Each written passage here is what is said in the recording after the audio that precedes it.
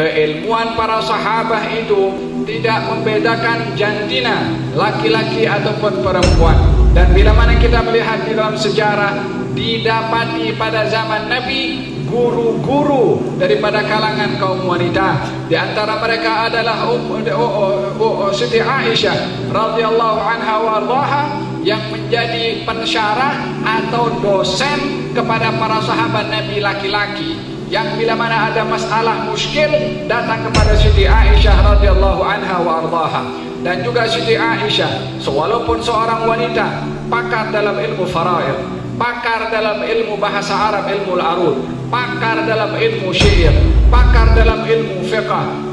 bahkan pakar dalam ilmu kedokteran. Walaupun perempuan, walaupun ketika ditinggalkan oleh Nabi, umurnya lebih kurang dalam 20 tahun, akan tetapi menjadi rujukan kepada sahabat-sahabat Nabi yang bila mana mendapati muskil dalam hal ehwal agama, datang kepada Siti Aisyah radhiyallahu anha warḍaha dan bertanya kepadanya, bukankah banyak hadis menceritakan tentang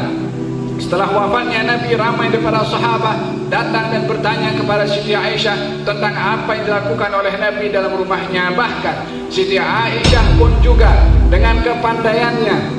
dan juga luasnya ilmu berani bila mana melihat kepada sahabat Nabi yang lain bila mana mempunyai pandangan yang dianggap tidak betul olehnya maka akan di counter maka akan dibantah dan diperbetulkan oleh Siti Aisyah. Ini menunjukkan bahwasanya Siti Aisyah mempunyai ilmu yang luas dan jauh karena berani memperbetulkan ilmu lelaki antara sahabat Nabi sallallahu alaihi wasallam menunjukkan kepandaiannya dan juga kuatnya hujah beliau sehingga berani mengedepankan pandangannya